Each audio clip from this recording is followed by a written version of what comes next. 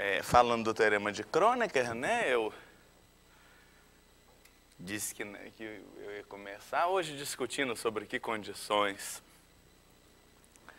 o conjunto é, você tem um alfa, alfa 1, alfa 2, alfa k. Não.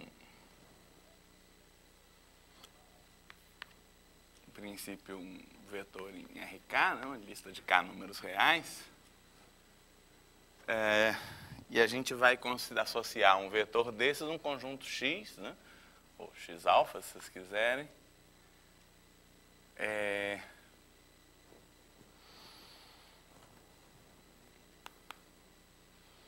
Na verdade, a gente pode associar dois conjuntos, talvez x-alfa e y-alfa. Bom, x-alfa é o conjunto dos múltiplos de, inteiros de alfa, né? k-alfa mais p1, p2. Geralmente usa Q, né? que é alfa mais p1, p2, pk, com p1, p2, pk e Q, todos inteiros. É, o y-alfa a gente pode definir como um subconjunto do x-alfa em que a gente exige que o Q seja natural.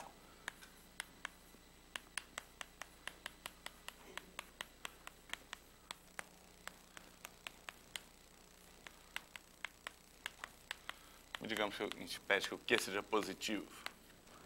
Então, certamente, o y-alfa está contido em x-alfa. Então, a gente tem teorema do Kronecker.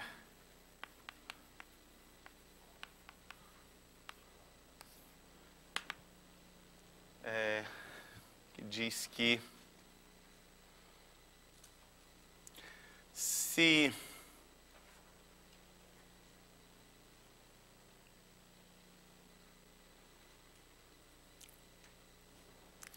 Bom, que x-alfa é denso em, em RK,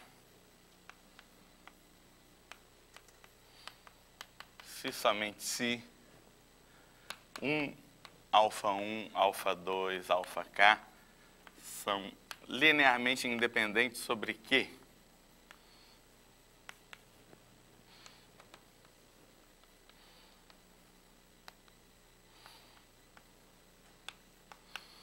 O que quer dizer isso?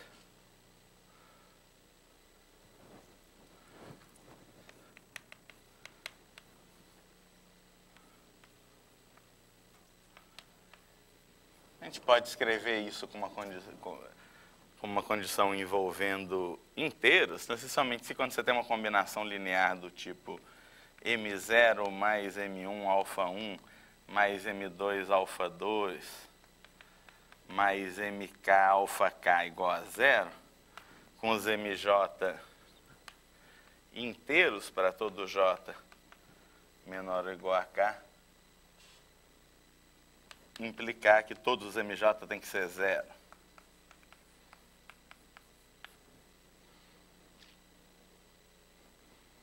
Bom, nesse caso, o Y-alfa também é denso em R. Né? Em RK, perdão.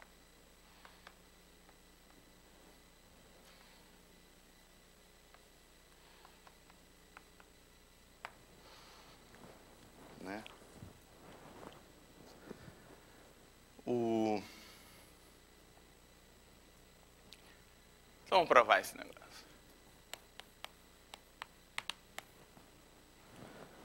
Na primeiro a gente vai ver que tem uma uma obstrução para a densidade do do x-alfa, né? Se se esses caras, eles serem linearmente dependentes sobre quem, em geral, condição, você tem uma combinação linear, quer dizer, eles não são linearmente independentes sobre que, se tem uma combinação linear igual a zero, com os coeficientes não todos nulos, racionais. Mas se tem uma combinação não trivial igual a zero com coeficientes racionais, você pode multiplicar tudo pelo MDC, né? você vai ter uma combinação linear não trivial igual a zero, com coeficientes inteiros. Então não tem nenhuma perda de generalidade nos coeficientes inteiros. Se você tiver uma combinação linear dessas com coeficientes inteiros, você pode considerar né, se existem inteiros, não, não todos nulos. Né? M0, M1, MK com M0 mais M1 alfa, mais M1 alfa 1, perdão, mais MK alfa K igual a zero, certamente M1, M2, MK não são todos nulos. Que se eles todos forem zero, isso aqui vai ser zero, o M0 vai ser zero também. Então M0, M1, MK seriam todos nulos. Contradição, né? E, portanto, isso daqui, f de x1, xk igual a m1 x1 mais m2 x2 mais mk xk, é um funcional linear não nulo.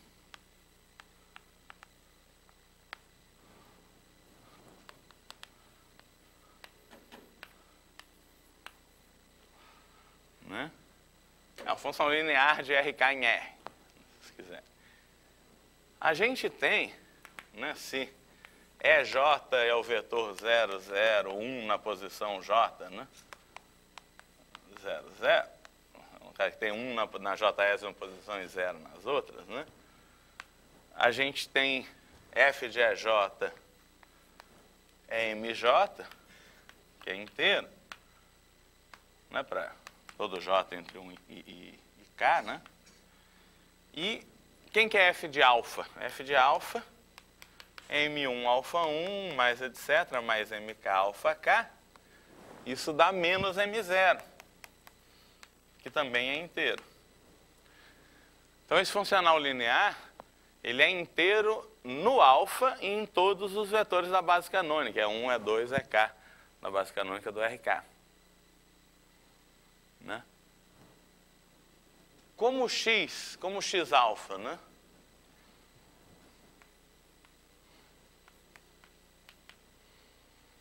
Se você olha para a cara dele, ele é o conjunto dos vetores da forma. Que é alfa mais P1 é 1 mais P2 é 2 mais PK é K, com todo mundo inteiro,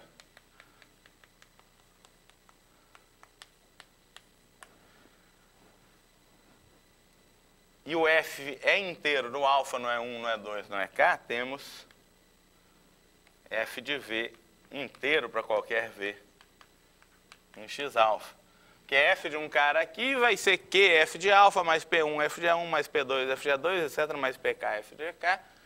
Como é, f de alfa, f de A1, f de A2, f de AK são todos inteiros, o Q, o P1, P2, PK são todos inteiros, vai dar tudo inteiro. Né? Portanto, é, o x-alfa está contido em f menos 1 de z, e, portanto, o fecho de x-alfa também está contido em f-1. É um funcional linear, é uma função contínua em particular. Né? Logo,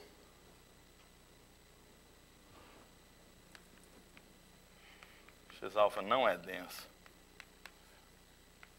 Os inteiros são fechados. Né? F-1 de Z é uma união de, plan, de planos. Do mesmo jeito que eu dei aquele exemplo com raiz de 2, você tinha uma união de retas paralelas, você tem um funcional linear de RK em R, a pré-imagem dos inteiros é uma união de planos paralelos, assim, mais longe uns dos outros, né? que é um fechado. Hein?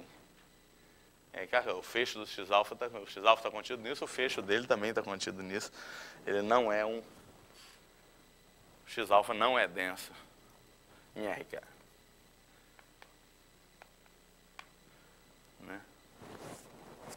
Então, certamente é uma condição necessária para o x-alfa ser denso em RK, que 1, x2, x3, x-alfa sejam linearmente independentes.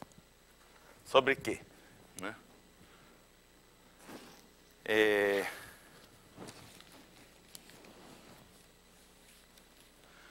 Bom, agora a gente vai ver a volta, né? A gente vai ver que se 1, x2, é, não, se 1, alfa 1, alfa 2, alfa k são linearmente independentes sobre Q. Então, de fato, não só o x alfa é denso, mas o y alfa também é denso. É...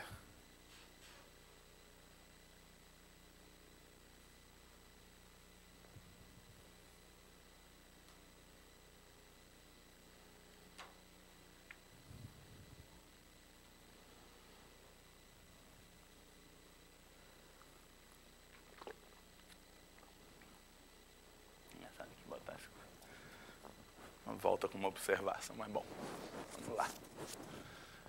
Vamos lá. O... Então, o que, que a gente faz aqui para provar a volta, né? Então, isso aqui é a ida. Volta.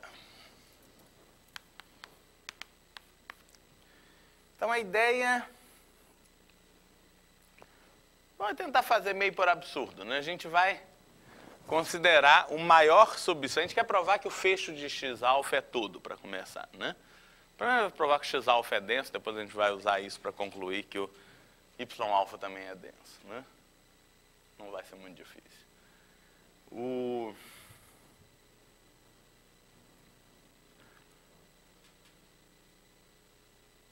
Então, o que a gente quer provar aqui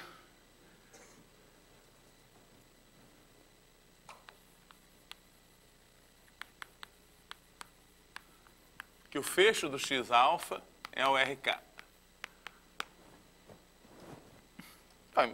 Não precisa ser né, princípio, mas o fecho do x-alfa ele sempre você pode considerar um subespaço maximal de RK contido no fecho do x-alfa. Né? Seja V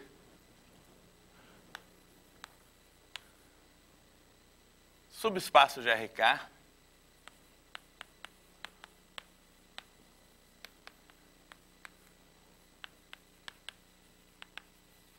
maximal contido no fecho do x-alfa. Naturalmente, a gente quer provar que V é todo o RK. Mas se o V não for todo o RK, ele tem um complemento ortogonal. Né? Suponha, por absurdo,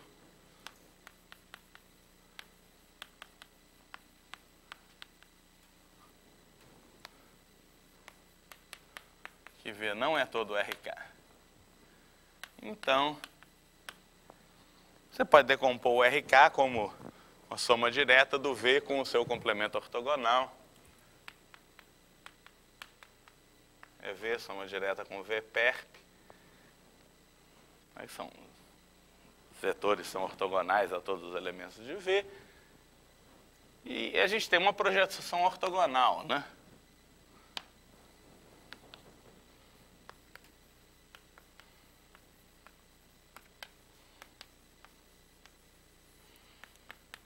de RK em VPERP, no, no complemento ortogonal do V. Para todo x em RK, né, dado um vetor qualquer x em RK, o x você escreve como é, x menos π de x mais π de x. Né? O π de x está em VPERP, mas o x menos π de x está é, tá no complemento ortogonal do VPR, porque é o V, né?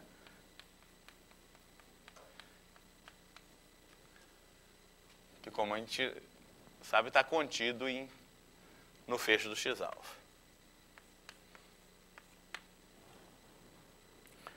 Uma observação importante é que o x-alfa é fechado por somas, né? É, se U e o tio né, x alfa é, é, fechado por somas, o tio em x alfa implica aqui o mais o tio e o menos o tio, se vocês quiserem então em x alfa, x alfa é um grupo aditivo, né? É... Então, se você tiver dois vetores no fecho do x-alfa, essa, propriedade continua sendo verdade. Né? U vai ser um limite de, de caras do x-alfa, o tio vai ser um limite de caras em x-alfa. Deixa eu botar W W tio, né? Então, W mais W tio e W menos W tio vão estar no fecho do x-alfa. Né? Não é porque o W é limite de uma certa sequência, o N, todo, todos eles em x-alfa. O W tio é limite de tio. O N mais o N tio sempre está em x-alfa e tende para W mais W tio, então W mais W tio está no fecho do x-alfa. O N menos o N tio também sempre está no x-alfa, tende para W menos W tio, então W menos W tio também está no fecho do x-alfa. Então, o fecho do x-alfa é, é, um, é, um, é um grupo aditivo, quer dizer, fechado por adição e subtração. Isso é uma observação importante. Bom, vamos lá. Então, você tem essa projeção ortogonal, quer dizer, cada elemento de RK se escreve de maneira única, como uma soma de um cara de V com um cara do complemento ortogonal de V, nessa projeção no complemento ortogonal de V. Né? Pode até fazer um desenho, digamos que o desenho funciona bem no caso de R2, mas vamos lá. Então, aqui a gente tem o V e o VPERP, né? Tá bom. E a gente tem os vetores aí da base canônica, né? O E1, que estão no X, né? E2, temos aqui o alfa, né? E todos eles têm as suas, as suas respectivas projeções no VPERP.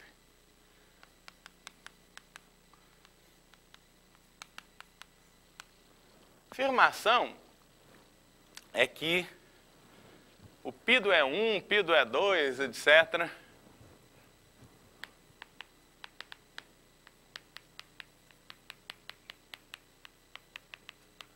O PIDO RK e o PIDO alfa pertencem ao fecho do, do X-alfa.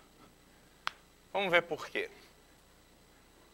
Por causa da nossa, da nossa, da nossa propriedade. Né? Porque, o, o bom, porque, em geral, mais geralmente, é, se W está no, no fecho do X-alfa, o π de W que o E1, E2, EK e o alfa, todos pertencem ao X-alfa. Portanto, pertencem ao fecho do X-alfa. Né? Para qualquer, a gente vai mostrar que para qualquer W no fecho do X-alfa, o π de W pertence ao fecho do X-alfa. Quer dizer, a, a, a, projeção π, ela leva caras do fecho do X-alfa em caras do fecho do X-alfa. Interseção VPERP no nosso né? Muito bem. E o de alfa é um fechado. Quando você projeta um fechado num, num, espaço vetorial, você vai ter um fechado lá naquele espaço vetorial. A gente vai... O... É... Bom, e, e, quer dizer, e a projeção vai estar contida no x-alfa, né, que é fechado. Então, o fecho da projeção vai estar contido no x-alfa, porque o x-alfa vai estar contido no fecho do x-alfa, perdão, porque o fecho do x-alfa é fechado. A gente vai chegar numa contradição. Deixa eu contar, resumir a prova. Né? A contradição vai ser o seguinte: essa projeção do fecho do x-alfa, ela vai conter um, um, um, grupo aditivo no VPERP, né, que vai, vai conter em particular uma base do VPERP, e vai conter um vetor irracional no VPERP. Isso vai garantir é, é, que ela vai acabar contendo. É, algum conjunto denso numa, no fecho, ele vai acabar contendo toda uma reta eh, no VPERP, quer dizer, vai conter um espaço vetorial não trivial no VPERP, mas como é tudo invariante por adição, quando você soma com V, você vai ter um espaço vetorial maior contido no fecho do x-alfa, que leva a uma contradição. Quer dizer, a ideia é que como essa projeção no VPERP vai estar toda contida no fecho do x-alfa, a ideia é provar que essa projeção é grande. Ela acaba tendo que conter toda uma né, a projeção do fecho, né, ou o fecho da projeção do fecho, que está contido no fecho, é, vai acabar contendo toda uma reta no, no, no, no VPERP, isso vai levar a uma contradição. Viu? Pela maximalidade do V. Né? O V é o maior espaço vetorial contido no fecho do x alfa. Bom, é um espaço vetorial maximal contido no fecho do x alfa. Né? Conseguir um espaço vetorial estritamente maior que o V contido no fecho do x alfa, eu tenho contradição. Então vamos lá. Por que, que é isso? Por que, que se você tem um cara no fecho do x alfa, o π de W pertence ao fecho do x alfa? Por causa dessa igualdade, né? O W é π de W mais W menos π de W e W menos π de W pertence a V que está contido no fecho do x alfa. Então, esse cara está no fecho do x alfa e esse cara está no fecho do x alfa. Logo, o π de W, que é W menos esse cara, ele é a diferença de dois caras que estão no fecho do x alfa. Diferença de dois caras que estão no fecho do x alfa está no fecho do x alfa. Tá? Porque o W, por hipótese, está no fecho do x alfa e W menos π de W sempre está no fecho do x-alfa. A diferença de dois caras que estão no fecho do x-alfa sempre está no fecho do x-alfa. Tá? Portanto, a projeção no VPERP né, do, do fecho do x-alfa está contido no fecho do x-alfa. Né? Muito bem. Bom, naturalmente, como e1, E2, EK geram RK. PIG é 1, PIG é 2, PIG é K, geram PIG RK, né? que é VPERP. Seja, vamos dar um nome para dimensão do VPERP, né, seja R a dimensão do VPERP, que eu estou supondo maior que zero, por, por, por contradição, né? É, e sejam a gente pode sempre que você tem um, conjunto de geradores, né, você pode escolher uma base dentro desse conjunto de geradores. Você pode escolher I1, I2, I3, etc., e R, tais que PID é I1, PID é I2, PID é IR, é uma base de VPERP. Né? Muito bem. É, a gente pode, pelo menos provisoriamente, chamar o alfa de E0, né? Só para ter uma notação mais uniforme, né?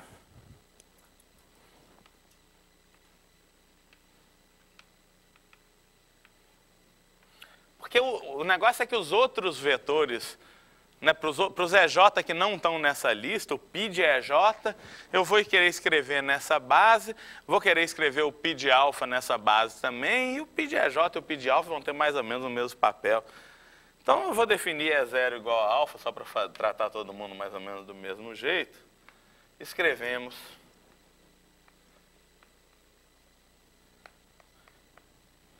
E os próprios é, PID é e T, quando eu escrever nessa base, eu vou escrever um jeito trivial. O pi de E e 1 é 1 vezes pi de E e 1 mais 0 vezes o resto, tudo bem. Mas escrevendo então para 0 menor ou igual a J menor ou igual a K, né? Cada... Lembra do anunciado?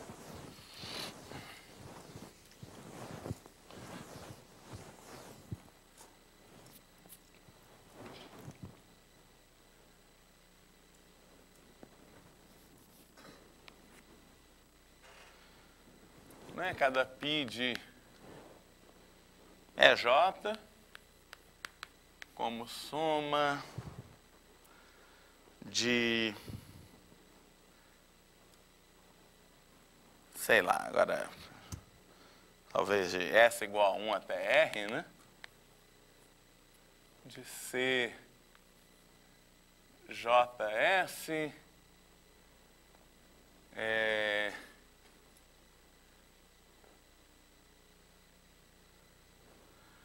é, P de E e S, né? Os E e S, E1, E2, E e R são a base que eu fixei para o VPER. Então você escreve cada um desses caras, o PID E1, PID E2, PID EK e o PID alfa, que é o PID E0 agora, né? Para 0 menor ou igual a J menor ou igual a K, eu escrevo nessa base aí. Que propriedade que o alfa tinha? O alfa era um vetor, bom, o alfa 1, alfa 2, alfa k e o 1 eram linearmente independentes sobre Q. Em particular, o alfa era um vetor irracional, mas o, o fato é que o que dá para concluir aqui, o que, eu vou, o que eu vou concluir de fato, é que algum desses vetores, algum desses... De, de, né, então, nessa base, né, cada π de AJ corresponde mais ou menos a um vetor. Né? A que vetor? O vetor é CJ1, CJ2, CJR nessa base. Que eu estou dizendo é que algum desses vetores, alguma dessas coordenadas tem que ser irracional. Na verdade, se eu olhar só para a coordenada do π de E1, quer dizer, para o CJ1, então a afirmação existe J, como é que dizer, menor ou igual a J, menor ou igual a K, tal que CJ1 é irracional. Porque a função que associa cada vetor do Rn ao CJ1, né? se você tem um x qualquer no, é, é no, no, Rn, você pode considerar o seguinte, né? dado, de fato, dado x em Rk, perdão,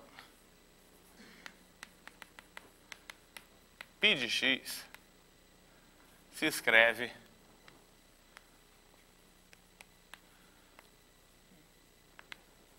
de maneira única como π de x é soma de S igual a 1 até R de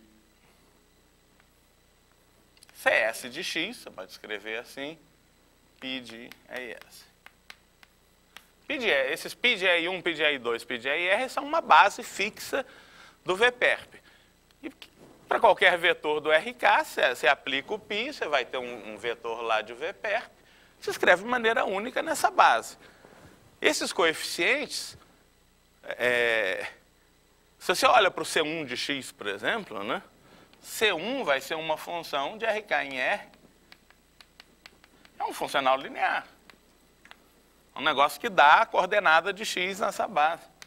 Quer dizer, se você olha para a função que, que para cada vetor de VPERP dá a, a, primeira coordenada dele nessa base, isso é claramente um funcional linear, né? um funcional linear dual associado, né? Porque você tem uma base, você tem uma base dual. O primeiro elemento da base dual associado a esse vetor PDE e um é esse funcional linear que dá para cada x, para cada vetor do VPERP, o, o, o C1 dele. O que a gente está fazendo é compor esse funcional linear, que leva VPERP em R, com a projeção, que é uma, função, que é uma, que é uma transformação linear do RK no VPERP. Você compõe um funcional linear com uma transformação linear, dá um funcional linear agora de RK em R, mas é claramente um funcional linear. Né? E o que acontece é que o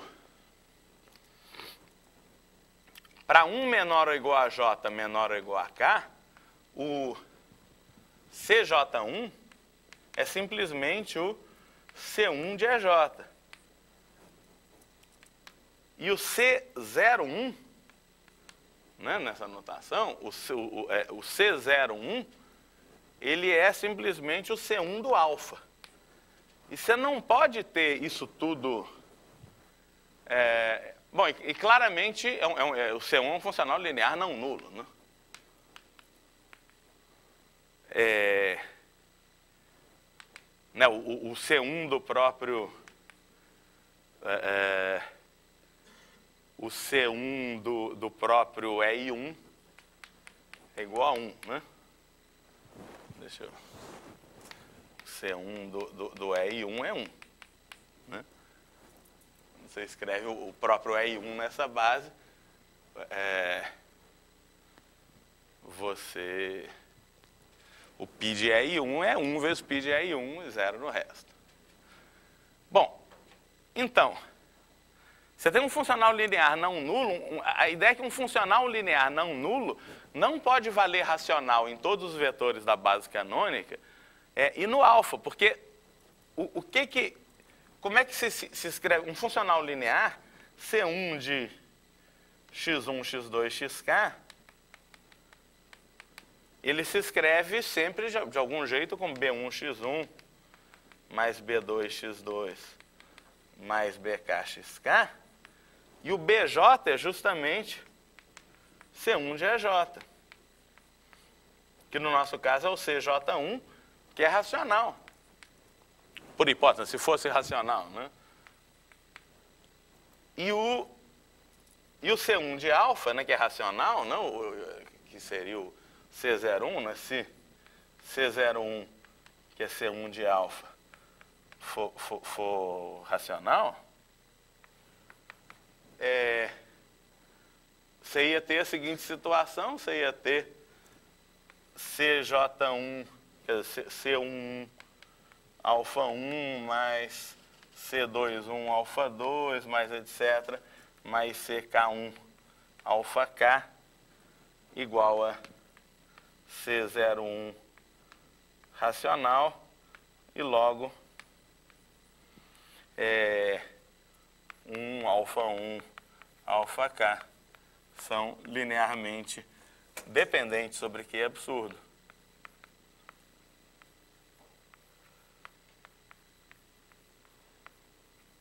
Nessa condição de dizer que um alfa 1, alfa 2, alfa k são linearmente é, é, independentes sobre Q, quer dizer que não existe nenhum funcional linear tal que a imagem de todos os vetores da base canônica e do alfa sejam racionais. Você não pode ter isso. E esse cara que dá a primeira coordenada é, é nessa base, né, o, o CJ1, ele é um funcional linear definido em RK, na verdade, que estaria dando racional em todos os vetores da base canônica e no alfa, isso é absurdo. Muito bem. Então, o que, que a gente mostrou? A gente mostrou que é,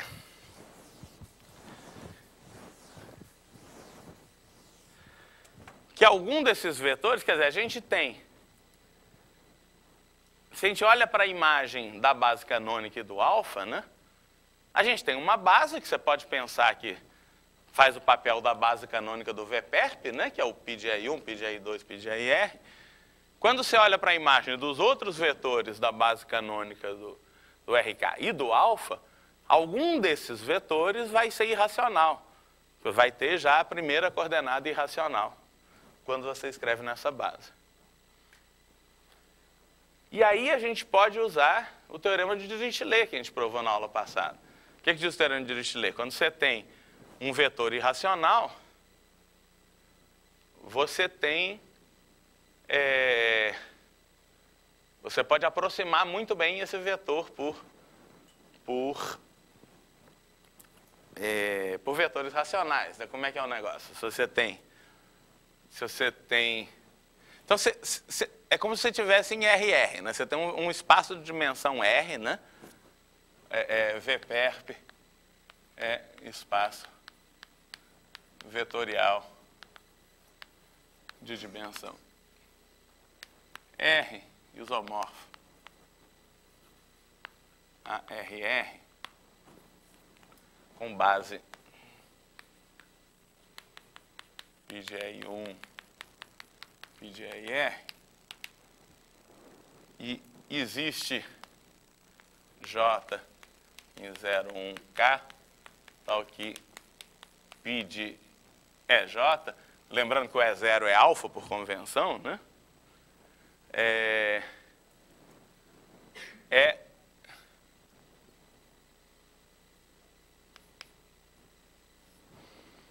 né, que se escreve como soma de CJS pi de RS, né, de S igual a 1 até R nessa base.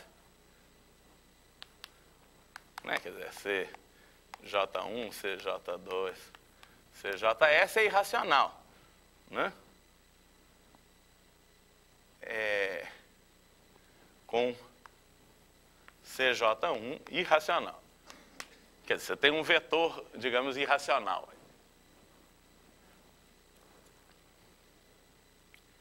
O que, que o teorema de. O teorema de Kronecker diz que.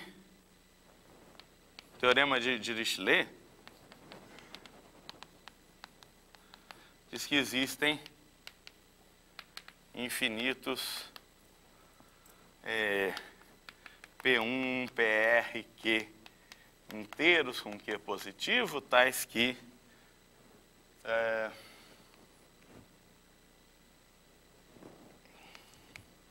CJ1 menos P1 sobre Q menor que 1 sobre Q é, é 1 mais 1 sobre R. Em geral, CJS menos PS sobre Q menor que isso, para 1 menor ou igual a S menor ou igual a R. Né? Tem todas essas desigualdades. Se você multiplicar tudo por é, tudo por Q, né, que é o que interessa para a gente, para ter vetores inteiros, você vai ter que QCJS menos PS é menor que 1 sobre Q é 1 sobre R, que está muito perto do zero, para 1 menor ou igual a S menor ou igual a R. Quer dizer, você vai ter QPI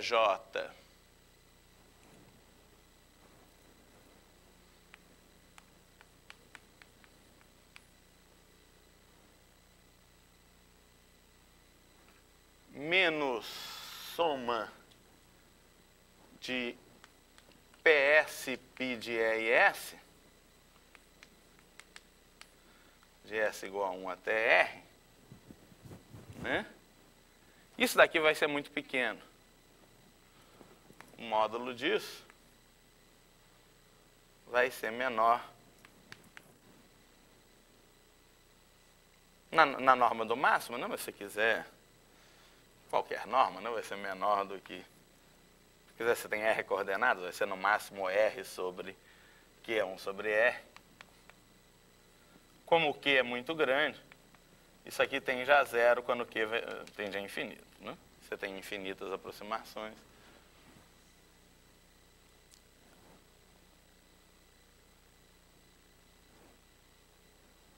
Conclusão. Bom, esse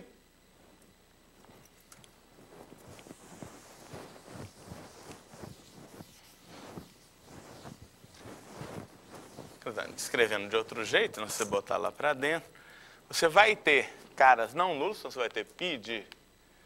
É, de novo, o, o de EJ tem coordenadas irracionais, quer dizer, o QEJ é, não é, é, não tem coordenadas inteiras nessa base, quer dizer, o, o QP de EJ, o Q é um inteiro não nulo, não um inteiro positivo, esse QP de EJ não pode, quer dizer, você vai ter zero menor que é,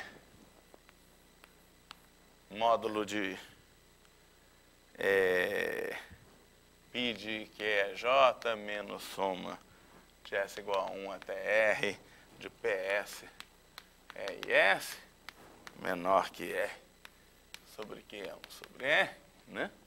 Você tem uma desigualdade dessa, isso aqui tende a zero quando q vai para infinito.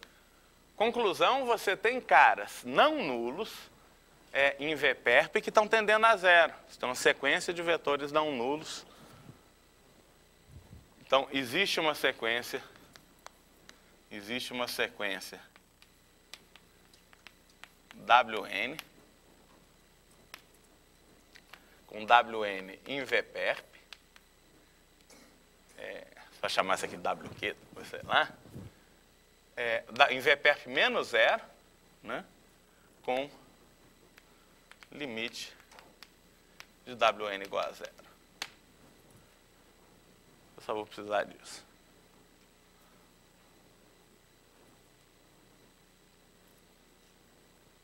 Tá? Porque a ideia é que todos esses caras são muito pequenininhos. E, e esses caras são, são, obviamente, elementos de, de VPERP. Né? São combinações lineares e com coeficientes inteiros de vetores de VPERP. VPERP é um espaço vetorial.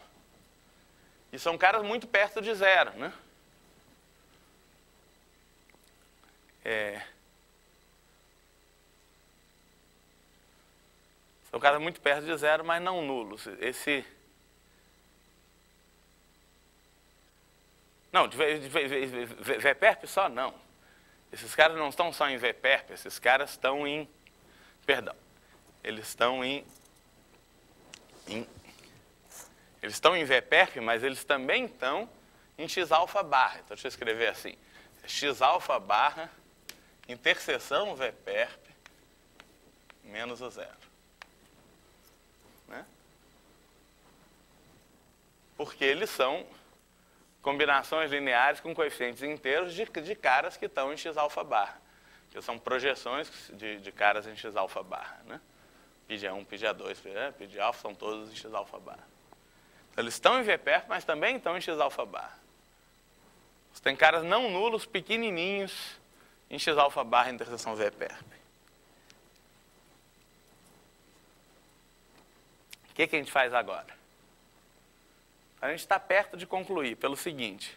Se você tem vetores não nulos pequenininhos, a gente pode olhar para a direção deles. A gente pode dividir, é, né, considere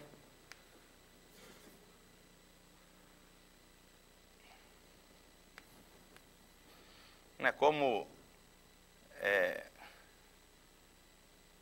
conjunto dos, dos vetores é, U em VPERP, tal que módulo de U igual a 1 é compacto, podemos supor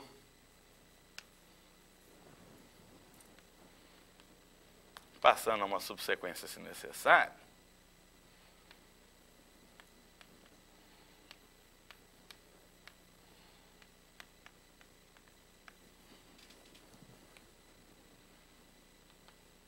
O que quer dizer isso? Que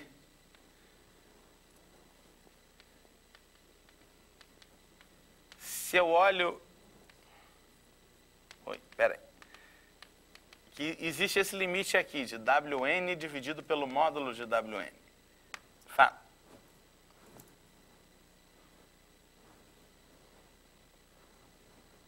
Para cada Wn é um vetor pequenininho não nulo, mas se eu dividir pelo módulo, ele vai ser um vetor de módulo 1. Um dos vetores de módulo 1, sei lá, em RK, se vocês quiserem, é um compacto. Quer dizer, é a esfera unitária. Né? Qualquer sequência na esfera unitária, você sempre pode. Ela sempre tem uma subsequência convergente. Quer dizer, você pode. Ela pode estar passeando muito, mas você pode trocá-la para uma subsequência que está tendendo para algum vetor fixo. Não é muito difícil provar isso. Pela, a esfera é um negócio limitado. Você, você pode, por exemplo, pegar a esfera e dividir num, num monte de pedaços. Por exemplo, que você está em, em R3 para simplificar. Você pode pegar a esfera e dividir em, em vários pedacinhos, digamos como se fosse num. É, digamos em 12 gomos, como se fosse um dodecaedro. Você divide em 12 pedacinhos menores, assim. Aí cada gomo, então você vai ter infinitos pontos da sequência num dos gomos. Você pega toda a subsequência dos pontos que estão num desses gomos. Aí esse gomo você divide, sei lá, em cinco pedacinhos menores, assim, de diâmetro menor. A partir de. Você vai ter infinitos pontos num desses gomos. Então, você pega um primeiro termo da sequência nesse, nesse pentágono grande, mas a partir do segundo termo, todos vão estar num pedacinho menor, onde você sabe que tem infinitos termos da sequência. Aí você pega esse pedacinho menor, divide em cinco pedacinhos menores ainda, assim por diante. Você vai fechando, você vai acabar tendo um ponto só na esfera, perto do qual, em qualquer vizinhança do qual, você garante que tem infinitos pontos da sequência, e você consegue uma subsequência da sequência toda tendendo para aquele ponto. De qualquer jeito, é, é um fato bem conhecido de, de análise, que é a esfera unitária compacta, e dado qualquer sequência na esfera unitária, você tem uma subsequência convergindo para ela. Se Wn sobre módulo de Wn converge, dá para mostrar que qualquer múltiplo real de W vai estar no, no fecho de x-alfa. Vamos ver.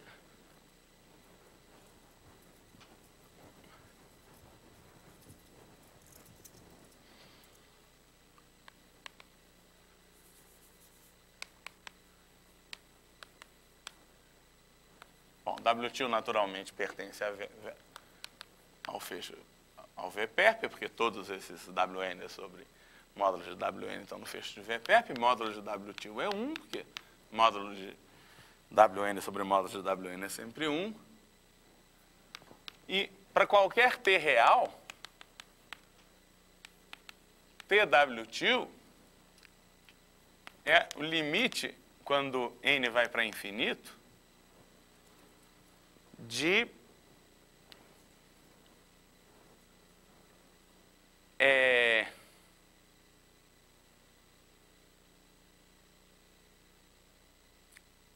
Então, é tipo, é, é, uma, é, é, é parecido com TWN sobre módulos de WN. T sobre módulo de WN não precisa ser inteiro, só que módulo de WN é muito pequenininho, se o T não é zero, T sobre módulo de WN fica muito grande. Se eu trocar T sobre módulo de WN pela parte inteira dele, o erro que eu cometo não é muito grande, é no máximo 1. Se eu multiplico isso por WN, que tende a zero, uma coisa, um erro no máximo 1 vezes uma coisa que tende a zero é um erro que tende a zero. Se não tiver erro, T sobre módulo de WN vezes WN tende a T vezes W. WN sobre módulo de WN tende a W tilde, desculpe. Então isso aqui, por outro lado, isso aqui é um inteiro. Um inteiro vezes WN, como WN está no fecho de x alfa, qualquer inteiro vezes WN está no fecho de x alfa. Então isso é um limite de caras no fecho de x alfa, portanto está no fecho de x alfa. Na WN está no fecho de x-alfa, isso é um inteiro. Um inteiro vezes WN está no fecho de x-alfa. O fecho de x-alfa é fechado. O limite de uma sequência que está no fecho de x-alfa, por definição de fecho, está no fecho de x-alfa. Então esse cara está no fecho de x-alfa.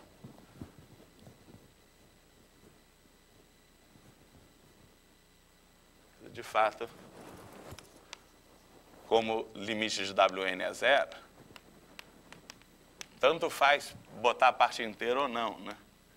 Limite de T sobre W.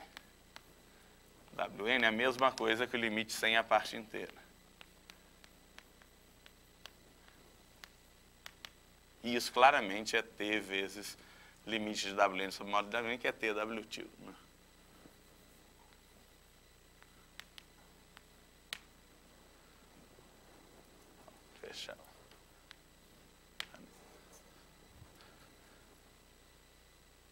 Bom, e aí acabou. Por que, que acabou? Porque esse vetor WTIL que está aqui de módulo 1, toda a reta passando por esse vetor, vai estar tá contida no fecho de x-alfa. Como o V está contido no fecho de x-alfa, o V, assim, o espaço vetorial gerado pelo WTIL está contido no fecho de x-alfa, e como o V já estava contido no fecho de x-alfa, bom, esse espaço vetorial projetado está contido no V perp, ele não, não tem nada a ver com ele, ele intersecta o V só no zero, né? ele é ortogonal ao V. Se você somar essa reta com o V, vai dar um espaço vetorial estritamente maior, com dimensão 1 a mais. Então o V mais soma direta com o espaço gerado pelo W2 vai estar contido no fecho de x-alfa, contradizendo a maximalidade de V. Então, isso termina a prova de que x-alfa é denso. O x-alfa é denso em RK. Porque você sempre consegue. Vai transformar em uma prova positiva, digamos. Né? Você consegue, para começar com esse argumento, uma reta que está contida no fecho de x-alfa, você consegue vetores muito pequenininhos, aí você, você olha para os vetores divididos pelo módulo, tem que ter uma subsequência convergente, aí você consegue uma reta contida no fecho. Olha para o complemento ortogonal, projeta as coisas, aí você consegue uma reta contida no complemento ortogonal, soma com essa. Agora você tem um plano contido no fecho, assim por diante. Você vai aumentando, conseguindo subespaços cada vez maiores contidos no fecho até dar o RK todo. Aqui a gente transformou isso numa prova por contradição, considerando um espaço maximal contido no, fecho do x-al.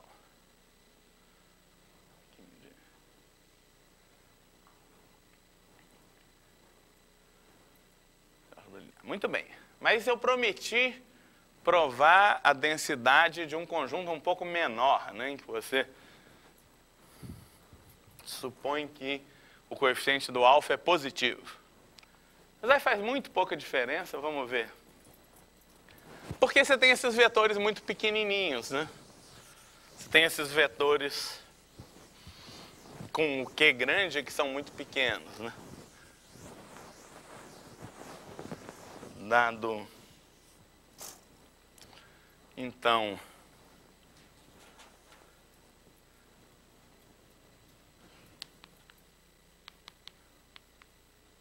para provar a densidade de y alfa é bom seja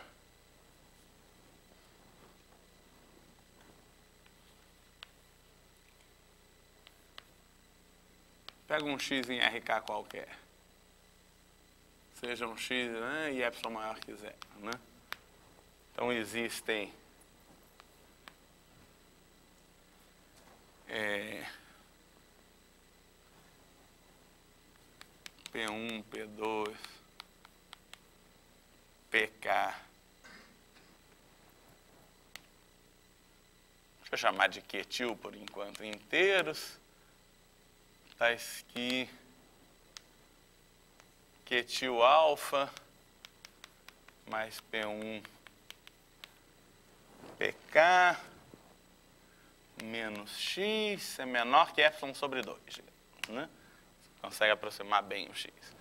Por outro lado, é,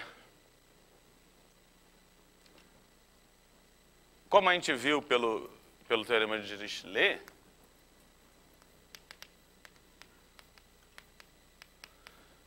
você tem infinitas aproximações muito boas do, do alfa, né? É, é, certamente se, se 1, alfa 1, alfa 2, alfa k são linearmente independentes sobre Q, o, o alfa 1, alfa 2, alfa k são, é um vetor irracional para começar. Não? Né? Todos os alfa i's têm que ser irracionais. Então, o Dirichlet implica que o alfa 1, alfa 2, alfa k é muito bem aproximado. Então, implica que existe um Q maior que o que módulo de quetil, tal que. Bom, deixa eu fazer direto, talvez, né? Que, é, mas. Não, tá bom.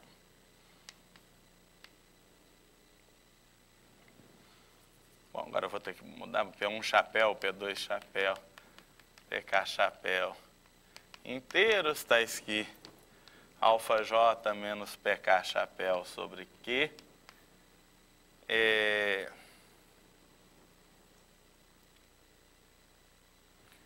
menor que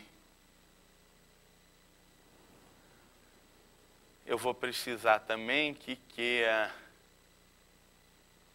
Q é 1 sobre K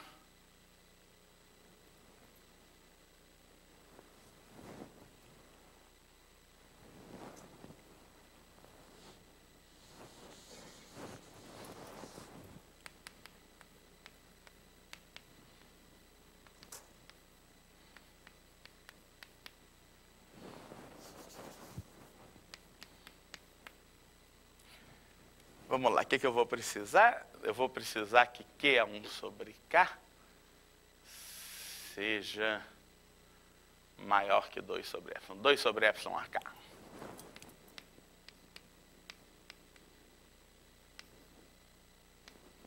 Pronto. Você vai ter um Q grande, não, pastor? Porque o Q é tão grande quanto eu quiser, porque eu tenho infinitas aproximações, afinal. É, tal que o alfa j menos pj sobre Q seja menor que 1 sobre Q a 1 mais 1 sobre K. Aí se eu multiplico por Q, né? Q alfa j menos pj chapéu vai ser menor que 1 sobre Q a 1 sobre K.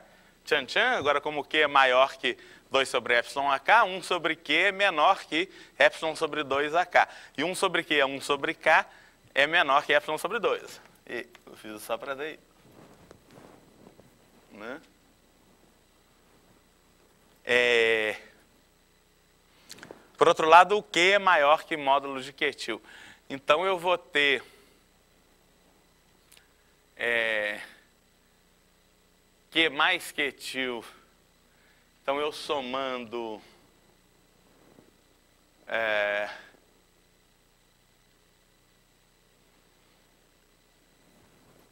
eu, vou, eu vou somar Q alfa agora, né? eu vou ter Q mais Quetil.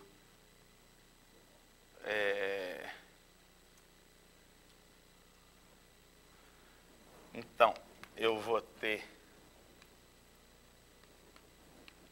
Q mais Qtil alfa mais P1 menos P1 chapéu, P2 menos P2 chapéu, PK menos PK chapéu, menos X. Agora está valendo, né? Porque o Q mais Qtil certamente é, é positivo, né? Q mais Qtil é maior ou igual a Q menos módulo de Qtil. Só que o Q é maior que o módulo de Qtil, então isso aqui é positivo. Eu prometi que o Q fosse positivo, né? Tá? E agora basta ver então que esse negócio está a uma distância menor que epsilon do x, que é o ganho. E isso daqui Aí a gente pode fazer desigualdade triangular, é menor ou igual que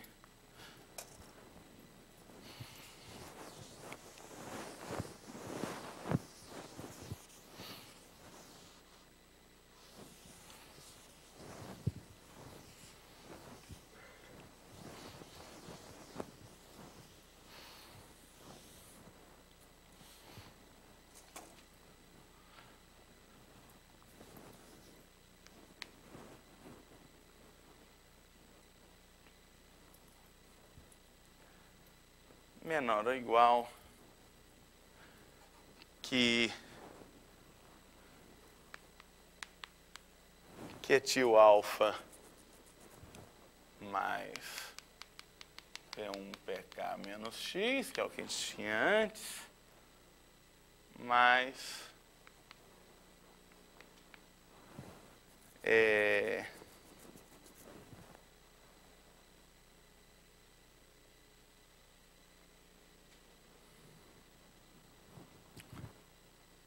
deixa eu botar. E eu tinha que ter botado um K aqui. Coisa chata. Deixa eu botar um K aqui embaixo. Para isso eu preciso botar um K aqui em cima. Eu, perdão. 2K sobre F. Não tem problema. Em vez de botar. Tá bom. Aí 1 sobre Q é menor que Epsilon sobre 2K elevado a K, e 1 sobre Q é 1 sobre K é menor que Epsilon sobre 2K. É que tem K termos agora, né? eu, vou ter módulo de quetil alfa menos. Bom, quem é alfa, né? Alfa 1, alfa K menos é, P1 chapéu, PK chapéu. E aí eu, bom, porque qualquer norma razoável que eu estiver usando, eu, aí é menor ou igual à soma das diferenças é, coordenada a coordenada. Né? Se, eu estiver usando norma do máximo, eu não preciso disso, não, mas se eu estiver usando norma euclidiana, para não ficar ruim, pior de todas é a norma da soma, que aí, então isso aqui é menor que epsilon sobre 2, mais soma de j igual a 1 até k de quetil alfa j menos PJ chapéu, que piqueteou de, de Q alfa J, perdão, aqui não é Q, não tem Q tio, é Q mesmo, né? Alfa J menos PJ chapéu, Q alfa J menos PJ chapéu é menor que Epsilon sobre 2K, isso aqui é menor que Epsilon sobre 2 mais Epsilon sobre 2, que é acabou. Tá bom. Deu tudo certo.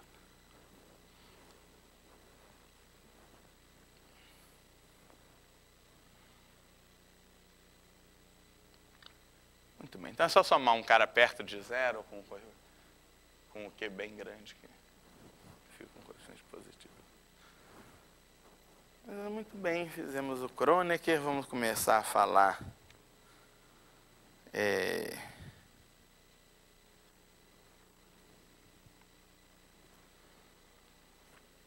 acho que eu vou começar a falar do teorema de Quintini.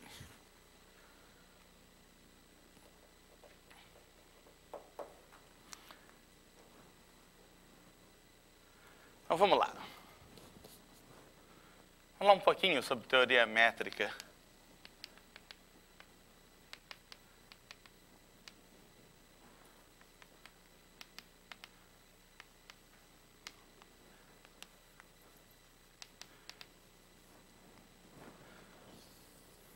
A pergunta é sobre o que, que vale para para a qualidade das aproximações da maioria dos números reais, ou da maioria dos, dos pontos de RK. Né? O,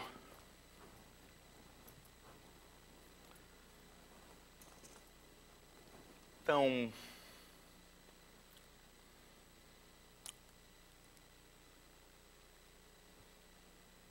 eu não Vamos lá. A gente falou bastante de frações contínuas. A gente viu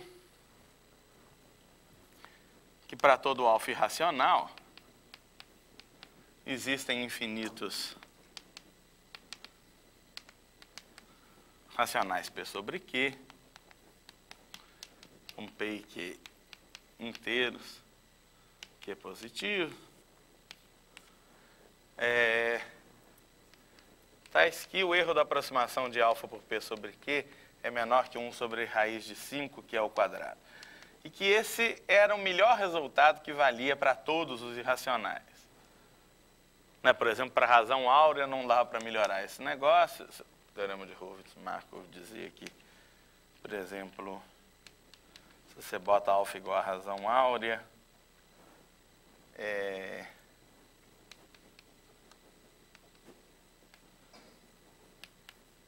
para qualquer epsilon positivo, essa desigualdade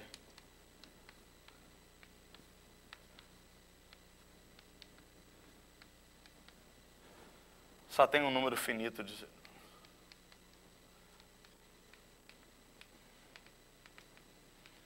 de soluções como acima, né?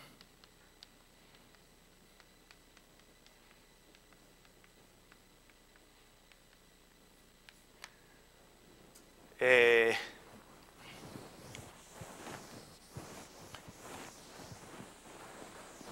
Mas, como eu falei algumas vezes, para para muitos irracionais, no certo sentido, para a maioria dos irracionais, dá para melhorar bastante esse resultado.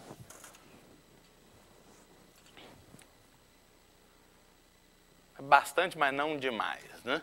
Então, a pergunta é o, o, o que, que é verdade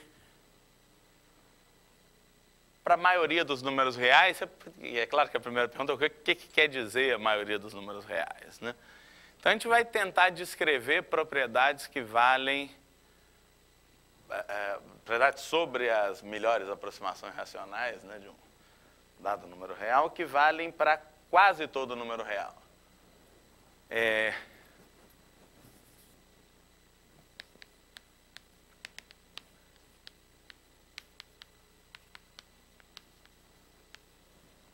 uma propriedade vale para quase todo número real,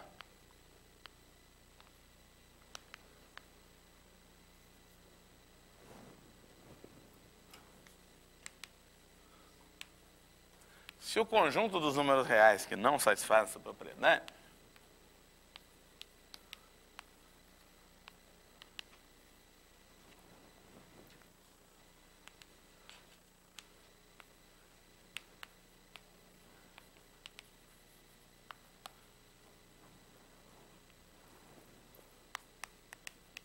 for muito pequeno, se ele tiver medida nula.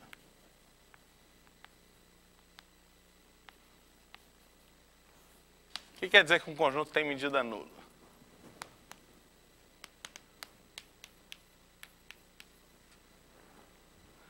O conjunto tem medida nula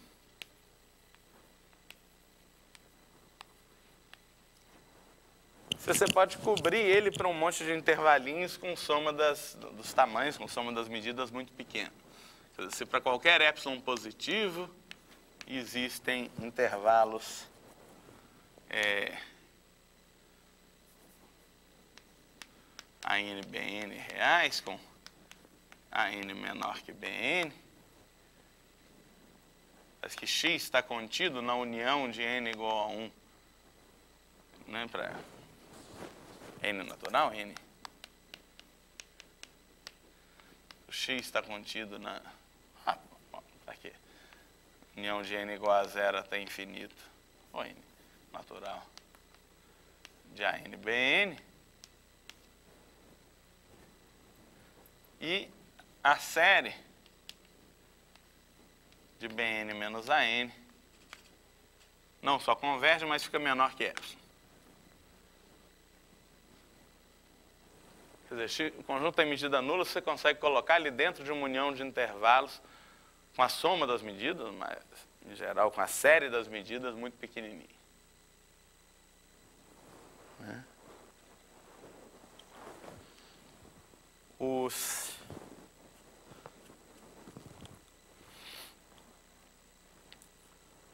Os racionais, por exemplo, têm medida nula, mas em geral qualquer conjunto enumerável tem medida nula. Né? É, de fato,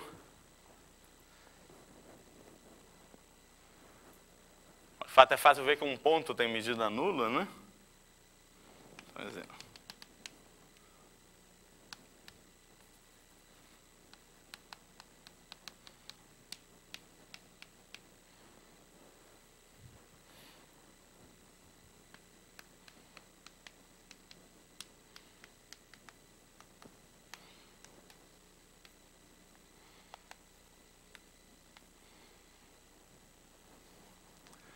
É um ponto sempre tem medida nula. Uma união enumerável de conjuntos de medida nula tem medida nula. Se xn tem medida nula para todo n maior ou igual a 1, então união de xn tem medida nula.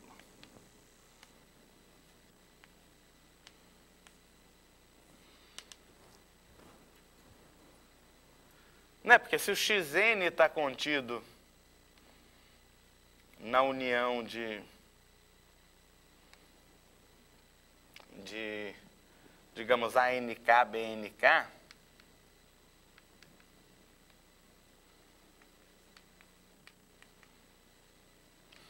eu, bom, dado qualquer epsilon, consigo, consigo colocar o xn aqui dentro com a soma das medidas muito pequenininha. Muito pequenininha aqui eu vou fazer menor do que epsilon sobre 2an.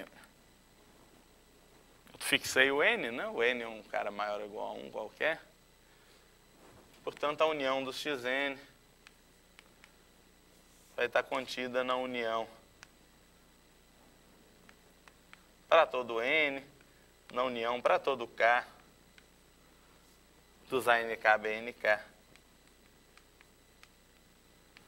Mas a série das união enumerável de uniões enumeráveis ainda é uma união enumerável, e a série das medidas de todos esses intervalos ainda é muito pequenininha, né?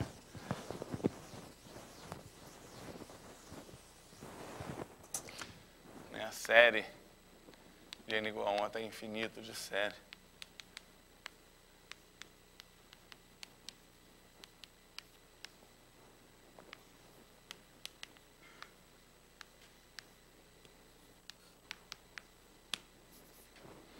Essa série fica menor que epsilon. Portanto, qualquer conjunto enumerável tem medida nula, porque todo ponto tem medida nula, toda união enumerável de conjuntos de medida nula tem medida nula. Mas tem conjuntos não enumeráveis que têm medida nula. Por exemplo, o conjunto de Cantor tem medida nula. Né?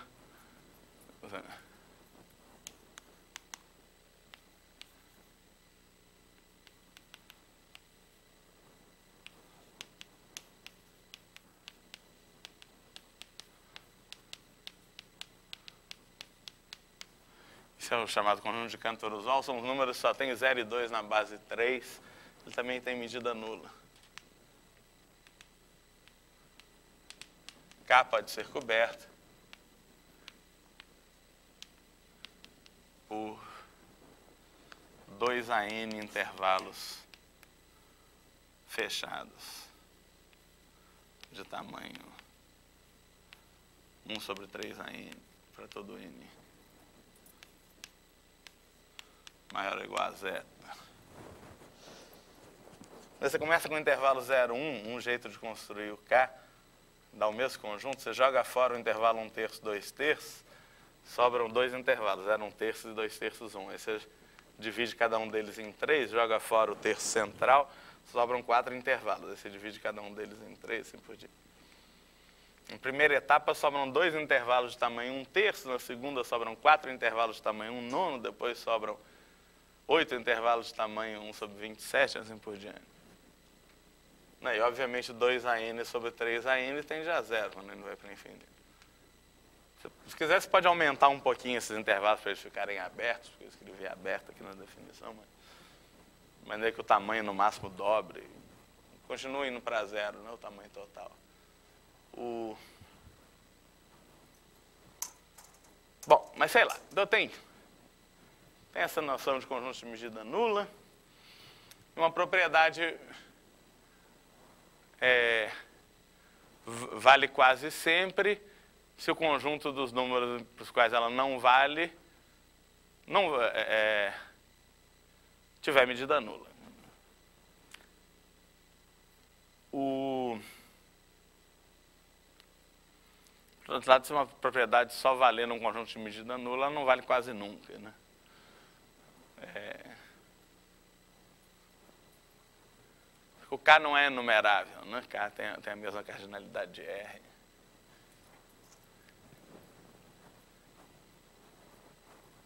Bom.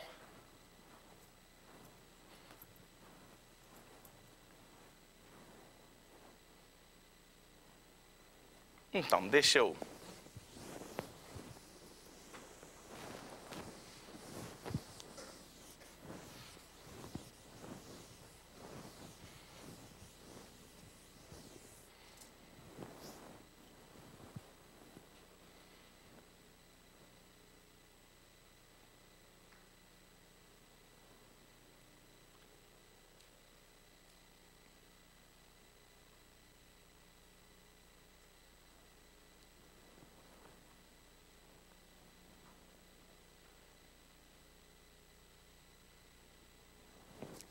Bom, deixa eu. Em geral, né?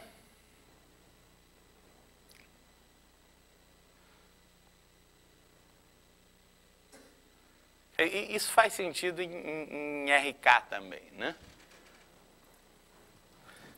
Mas.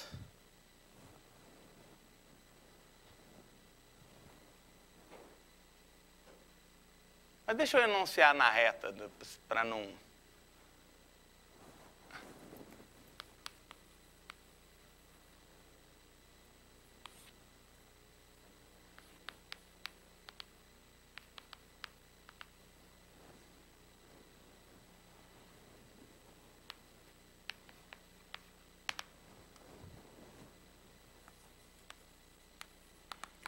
Então, pega uma função dos inteiros positivos em zero infinito, tal que, de fato, basta que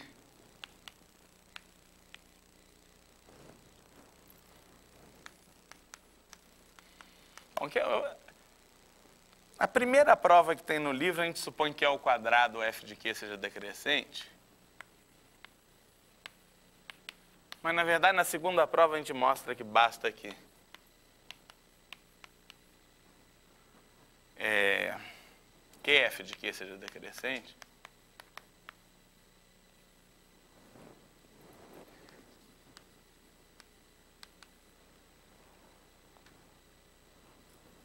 Na verdade, basta que, que f de q seja decrescente. Mas, mas vamos lá. É, a ideia é olhar para a seguinte pergunta um pouco mais geral. A gente considera a seguinte desigualdade.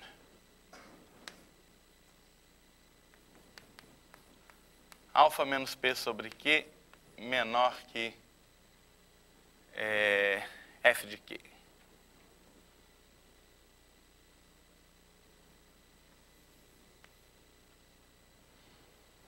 Ah, deixa eu tentar, deixa eu manter um, enunciado parecido com o livro.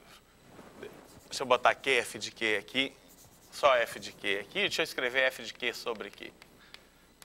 Vou botar a desigualdade assim, alfa menos P sobre Q é menor que F de Q sobre Q.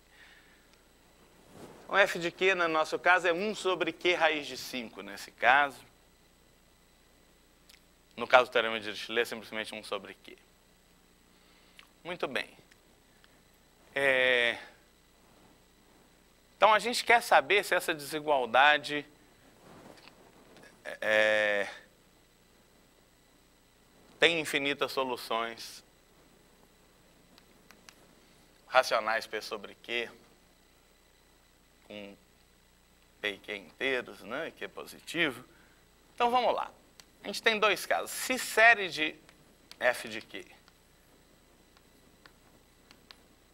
converge, então essa desigualdade é, tem apenas um número finito de soluções.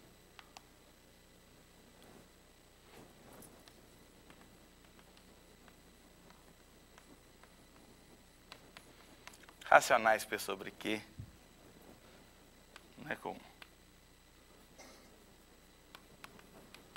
né, com P e Q inteiras, que é positivo, para quase todo o alfa real. Por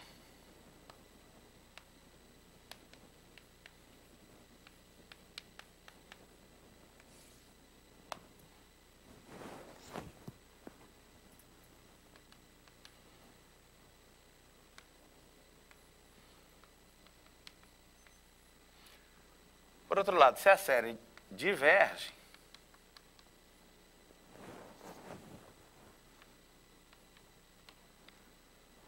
Então, essa desigualdade tem infinitas soluções.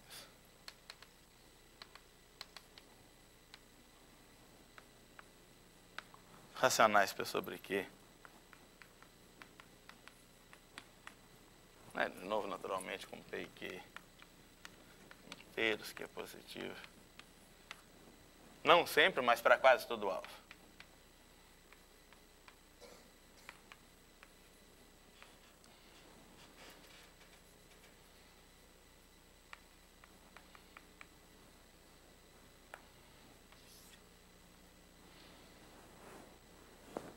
Deixa eu. Vamos olhar algumas consequências desse teorema. Depois a gente vai ver uma versão multidimensional disso.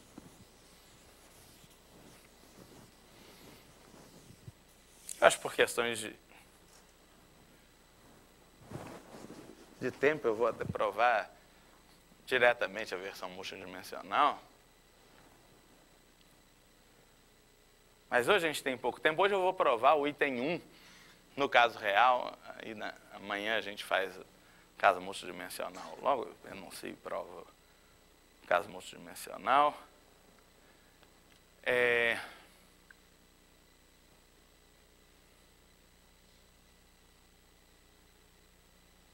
Mas vamos ver consequências desse teorema, né? O que, que isso está dizendo? A gente Hum, vamos considerar alguns casos mais ou menos limite. Por exemplo, no caso 1, caso 1 implica que, por exemplo, é, se f de q é 1 sobre q ao quadrado log ao quadrado de q, mas isso não faz sentido para q igual a 1, mas deixa, deixa eu botar q mais 1, se vocês quiserem, bobagem, né? Só para fazer sentido para q igual a 1. Log de 1 é zero. Vamos lá, então série de... É, é, desculpa, 1 sobre q log ao quadrado de q, né? Quando você divide por q, é que fica 1 sobre q ao quadrado. Né? Série de f de q converge. Série de 1 sobre q log ao quadrado de q converge.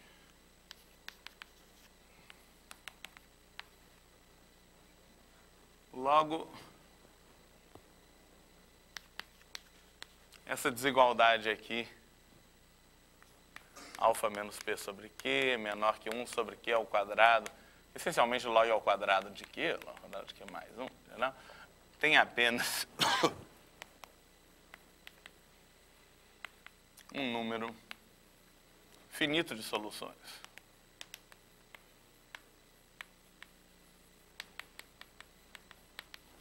Para quase todo alfa.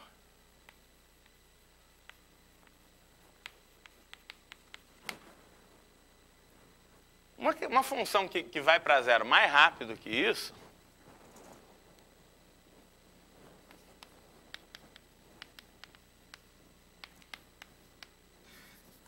Para todo epsilon positivo, se você fizer alfa menos p sobre q menor que 1 sobre q é 2 mais epsilon, qualquer expoente maior que 2 tem apenas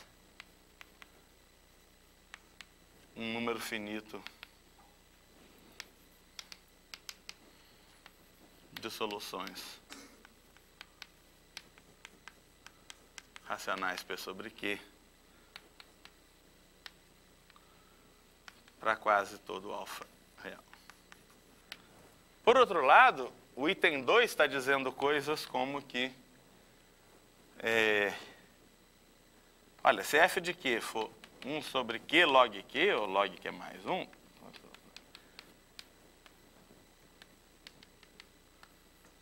série de f de q diverge. Logo,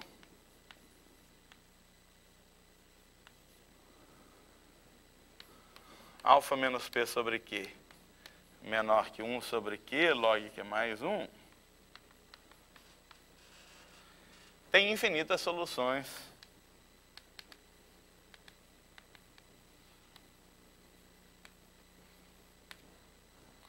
Racionais p sobre q.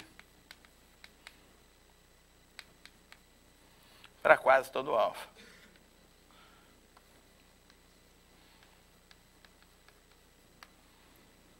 Né?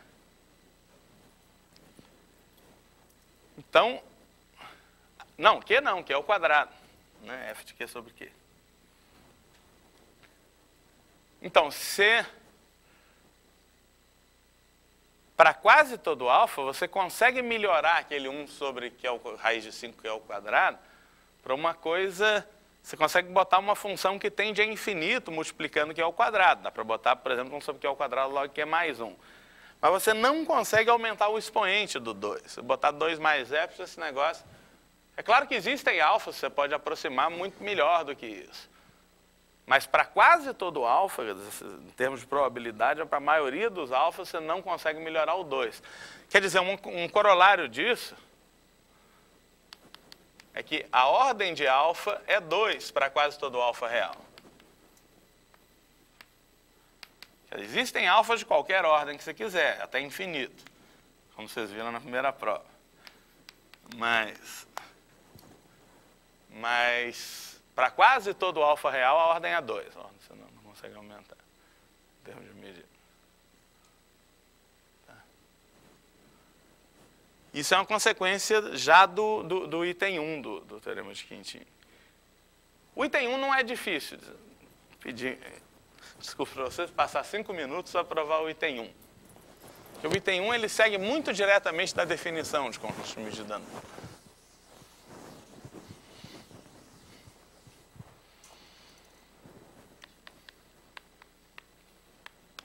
o item 1, na verdade, não precisa supor praticamente nada sobre a função f. Né? Precisa, realmente não precisa supor que ela é decrescente, nem nada disso. Porque o que a gente precisa mesmo, né? Se a gente olha para essa desigualdade, ela é equivalente a dizer que alfa pertence a esse intervalo. P sobre Q menos F de Q sobre Q. P sobre Q mais F de Q sobre Q. Queremos provar que se é, série de f de q sobre q, de, de f de q de, é, converge, né? Então, o, qual que é o conjunto que interessa para a gente? A gente quer saber o conjunto dos alfas. Eu quero, eu, eu quero mostrar que essa desigualdade só tem um número finito de soluções. Quando que essa desigualdade tem infinitas soluções? Essa desigualdade tem infinitas soluções. É, é, se você pensar bem, quando o denominador está fixo, né, o tamanho desse intervalo está fixo. O tamanho desse intervalo só depende do, do denominador. Você fixa o denominador, os racionais com esse denominador, forma uma progressão aritmética infinita, que está indo para infinito dos dois lados. Então, é claro que o alfa só pode pertencer a um número finito de intervalos desses com, com denominador fixo. Né? É, se você quer infinitas soluções, se você quer que ela pertença a infinitos intervalos desses, ela tem que pertencer a intervalos com um denominador arbitrariamente grande. Né? Então, estrela tem infinitas soluções. Então, isso vai ser importante na aula que vem também. Né? Se somente se o alfa pertence ao seguinte conjunto. Se somente se, estrela tem solução para Q arbitrariamente grande. Por outro lado, o que quer dizer que estrela tem solução para algum Q? Quer dizer que ela tem solução para, para esse Q e para algum P, né? Então ela tem que ter solução para é, para a união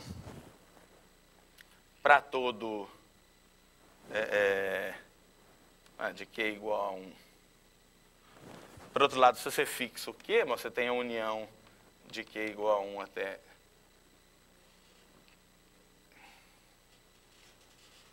Deixa eu escrever assim.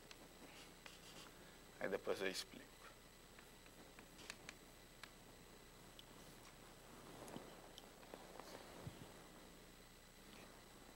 É, por outro lado, se ela tem o, Quer dizer, o f de q é decrescente, quer dizer, o f de q sobre q está indo para zero, né, que é o que, é o que, que realmente importa. É, a gente pode, se, se o alfa está entre, entre 0 e 1, um, né, você vai ter infinitas aproximações por racionais entre 0 e 1. Um. É, então, então alfa é, pertence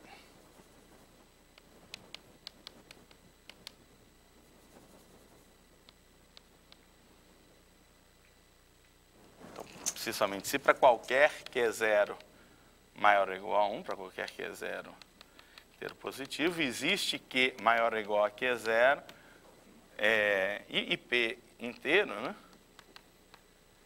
tal que alfa está entre P sobre Q menos F de Q sobre Q, P sobre Q, mais F de Q sobre Q. É... Bom, se, por outro lado, é...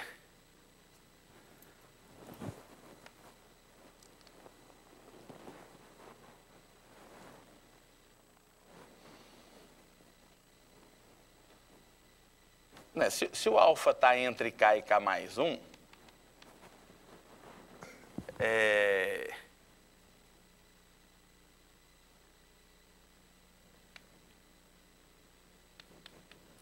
para Q grande, né? se, se alfa for muito bem aproximado por P sobre Q, a gente pode supor, né, com K inteiro,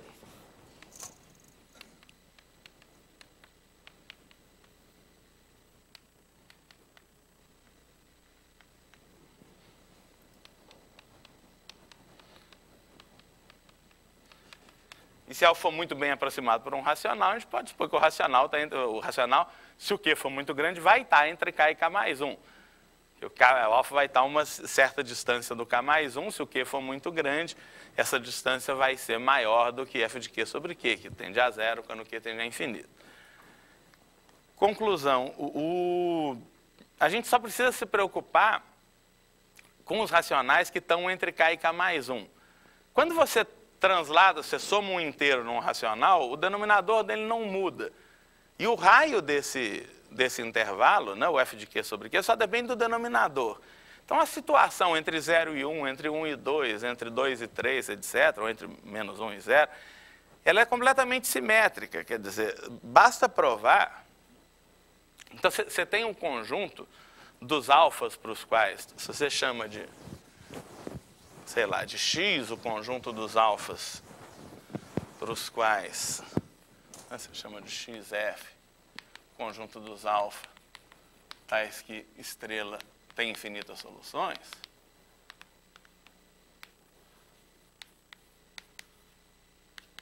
P sobre Q é, racionais, o xf ele é a união para K inteiro do XF interseção 0,1 transladado por K. Quer dizer, o que acontece no intervalo 0,1, digamos, fechado em 0 e aberto em 1? Né? Quer dizer, se, se qualquer.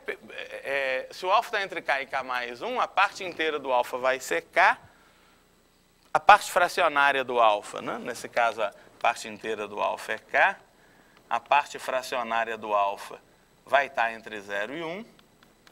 E qual, se você tiver uma boa aproximação do alfa, se você diminuir o K, você vai ter uma boa aproximação da parte fracionária do alfa com o mesmo denominador. É, e você tem infinitas aproximações boas do alfa, equivalente a você ter infinitas boas aproximações da parte fracionária do alfa. Então, é, é o alfa está em XF, se somente se a parte fracionária dela está em XF interseção 0,1. Então você tem essa igualdade. Né, como isso é uma união enumerável, basta para provar que XF tem medida nula, que é o que a gente quer fazer no item 1, basta provar que XF interseção 0,1 tem medida nula. Mas XF interseção 0,1 é dada pela seguinte expressão. Ele é o conjunto dos caras que têm é, é, aproximações que estão naquele intervalo para Qs arbitrariamente grandes. Então, vai ser... É, por outro lado, tem que ter uma aproximação P sobre Q para algum P sobre Q no intervalo 0, 1. Então, união pra, de P igual a 0 até Q menos 1, se você fixa o Q né, daquele intervalo P sobre Q menos F de Q sobre Q P sobre Q mais F de Q sobre Q. Depois você pega a união para todo Q grande, de Q igual a Q zero até infinito. Né? Isso é a união para todo Q maior ou igual a Q zero. E agora eu pego a interseção para todo Q zero, de Q zero igual a 1 até infinito. Isso aqui é o conjunto dos alfas que tem alguma aproxima, boa aproximação por P sobre Q com Q maior ou igual a Q zero. E quando você pega a interseção, isso aqui é o conjunto dos alfas que tem boas aproximações para valores de Q arbitrariamente grandes. Ou seja, o conjunto dos alfas que tem infinitas aproximações P sobre Q, com erro menor que F de Q sobre Q. Tá? E esse é o conjunto em que a gente está interessado no intervalo 0,1. O conjunto dos alfas no intervalo 0,1, para os quais isso tem infinitas soluções, é exatamente esse conjunto. E como é que a gente, como é que a gente prova que ele tem medida nula? Bom, ele está contido nessa união de intervalos para cada Q zero. Né?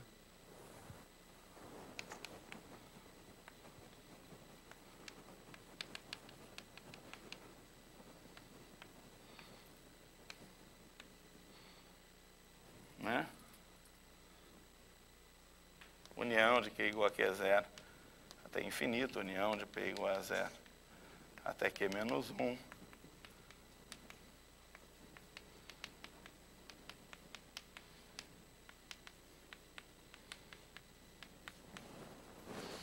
Cuja soma das medidas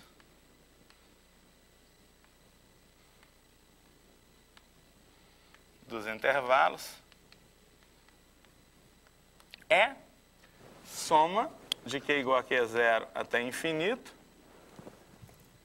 É, qual que é a medida desse intervalo p sobre q menos f de q sobre q, p sobre q mais f de q sobre q? É 2f de q sobre q. Quantos intervalos a gente tem? A gente tem q intervalos desses para cada q fixo. Então tem q vezes 2f de q sobre q. Vai cortar o q, vai ficar só 2f de q. Isso aqui é 2 soma de q igual a q0 até infinito de f de q. Mas isso é um rabo de uma série convergente. Essa soma de q0 até infinito de f de q. Eu estou supondo que série de f de q converge. Se eu pego uma série convergente e começo a somar lá na frente, isso tende a zero. Quando o Q0 vai para infinito. Ou seja, eu tenho coberturas por intervalo, uniões de intervalos abertos, em que a medida disso fica tão pequena quanto eu quiser. Por definição, esse conjunto tem medida nula. Como o conjunto todo é uma união de translações, união enumerável de translações de um conjunto de medida nula, ele tem medida nula também. Né? Acabou. A prova do, do item 1. O item 2 é substancialmente mais difícil, né? não é, o teorema não é tão trivial assim. Mas pelo menos a gente já concluiu esses dois fatos interessantes sobre que são consequências do item 1, né? Que a gente concluiu que quase todo número real tem ordem 2 de, aproximação. Você não consegue melhorar o expoente 2 no teorema de Dirichlet ou no teorema de Hurwitz-Markov. Né, Para quase todo alfa, sei lá, alfa menos p sobre q menor que 1 sobre q ao quadrado, log ao quadrado de q, só tem infinito, só tem um número finito de soluções. Né? E aí tem a parte 2, que é um pouco mais difícil. A gente vai provar uma versão multidimensional disso, que, que tem relação com o teorema de Dirichlet multidimensional.